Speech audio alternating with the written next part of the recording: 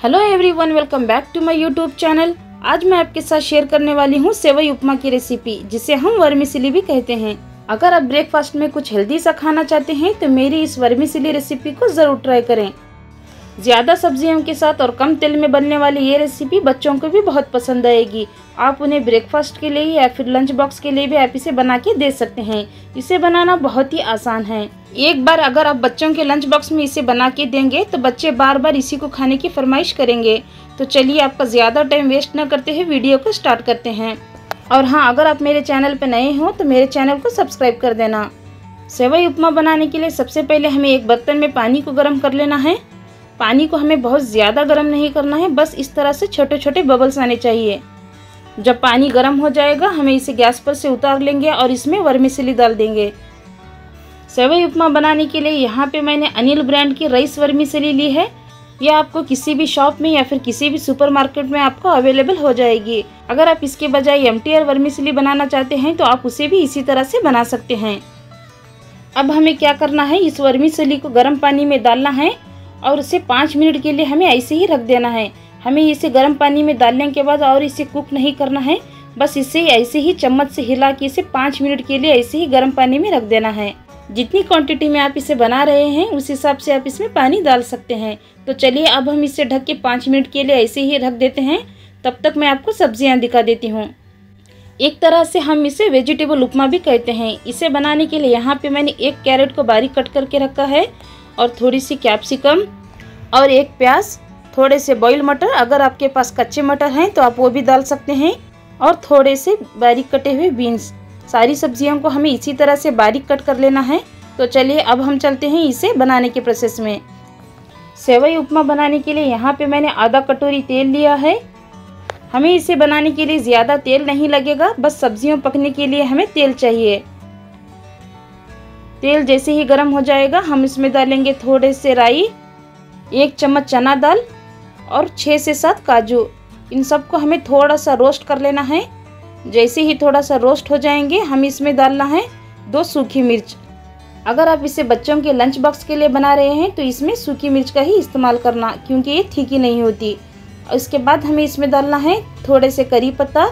इन सबको हमें थोड़ा सा रोस्ट कर लेना है। यानी कि हमें इसे गोल्डन ब्राउन होने तक इसे रोस्ट नहीं करना है, बस थोड़ा सा ही इसको रोस्ट करना है, जैसे कि इसका कलर थोड़ा सा चेंज हो जाए। जब ये थोड़ा सा रोस्ट हो जाएँगे, हम इसमें डालेंगे बारीक कटी हुई प्याज।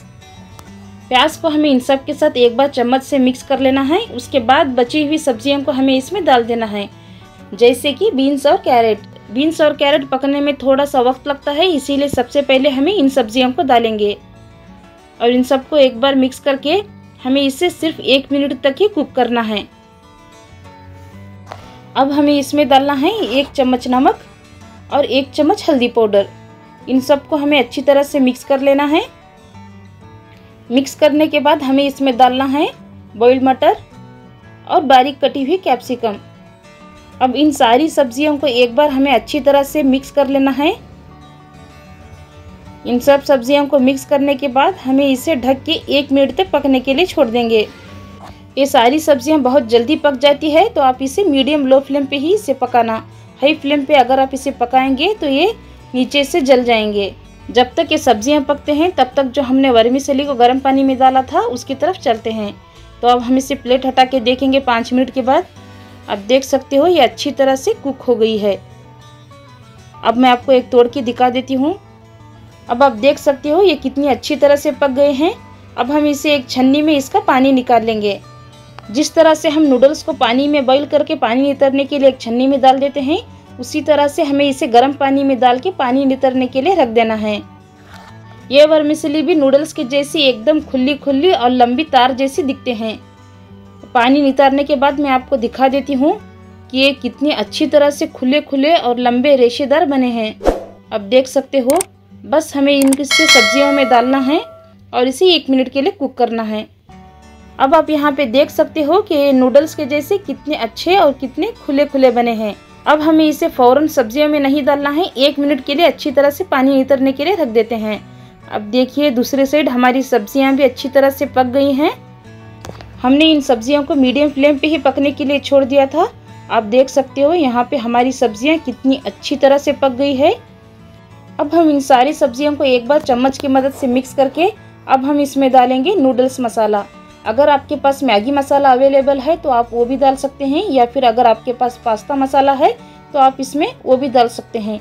जो भी मसाला आपके पास अवेलेबल है, वो आप इसमें डाल सकते हैं, ताकि इसका भी टेस्ट एकदम नूडल जैसा आए। ये डिश आपको सिर्फ़ 10 मिनट में बनके तैयार हो जाती है। एक तरह से आप इसे सुपर हेल्थी ब्रेकफास्ट भी कह सकते हैं। अब हमें इन सब्जियों में डालना है वर्मीसिली देखिए, इसका पानी भी इससे अच्छी तरह से अलग हो गया है। अब हमें इसको इस तरह से मिक्स कर लेते हैं। बहुत हल्के हाथों से ही आपको इसे मिक्स करना है, वरना ये टूटने लगेंगे। क्योंकि ये गर्म पानी में ऑलरेडी पके हुए होते हैं तो ये तो ये बहुत सॉफ्ट हो जाते हैं। अगर आप चम्मच से इसे बहुत ज़ोर ज़ोर से चलाएँगे तो ये टूटने लगते हैं। जिस तरह से हम नूडल्स को मिक्स करते समय दो चम्मच का इस्तेमाल करते हैं, उसी तरह से हमें इसे मिक्स कर लेना है। अगर आपको मेरी ये डिश अच्छी लगी हो तो मेरे चैनल को सब्सक्राइब करना ना भूलें। और मुझे कमेंट करना भी ना भूलें। मुझे आपके कमेंट का इंतज़ार रहता है। अब हम इसको एक बार अच्छी तरह से मिक्स करने के बाद हमें इसमें डालना है कच्चा नारियल ग्रेट किया हुआ। यह ऑप्शनल है। अगर आप होटल या रेस्टोरेंट जैसा टेस्ट चाहते हैं तो आप इसमें ग्रेट किया हुआ कच्चा नारियल ज़रूर डालें। होटल या रेस्टोरेंट में सेवई उपमा बनाते हैं ना, वहाँ भी इसी तरह से कच्चे नारियल का ही इस्तेमाल करते हैं। इसीलिए होटल या रेस्टोरेंट का सेवई उपमा बहुत टेस्टी होता है। अगर आपको होटल या रेस्टोरेंट जैसा टेस्ट चाहिए तो आप इसे डाल सकते हैं, वरना आप इसे स्किप कर सकते हैं। ये डिश मुझे बहुत पसंद है। अगर आपको भी मेरी ये डिश पसंद आए तो आप इसे अपने रिश्तेदारों या दोस्तों के साथ ज़रूर शेयर करें। अब हम इस कच्चे नारियल को इन सारी सब्जियों के साथ अच्छी तरह से मिक्स कर लेंगे। एक बार जब अच्छी तरह से मिक्स हो जाएगा, तब हम इसे ढक के एक मिनट के लिए लो फ्लेम पे इसे छोड़ देंगे। एक मिनट के बाद आप देख सकते हो, हमारी सेवई उपमा या फिर वेजिटेबल वर्मिसिली बनके तैयार है। अब हमें इसमें आखिर में डालना है बारीक कटी हुई हरी धनिया। और इन सबको एक बार अच्छी तरह से मिक्स करके हम इसे सर्व कर सकते हैं। तो अब हमारा सेवई उपमा परफेक्ट तरीके से बन के तैयार है। है ना, इसे बनाना बहुत ही आसान। अब आप देख सकते हो यहाँ पे कितने अच्छी तरह से कितने खुले खुले बने हैं। अगर आप इस सेवई उपमा की रेसिपी को मेरे बताए तरीके से बनाएँगे तो ये परफेक्ट बन के तैयार हो जाती है। तो चलिए अब हम चलते हैं इसे सर्व करने के प्रोसेस में।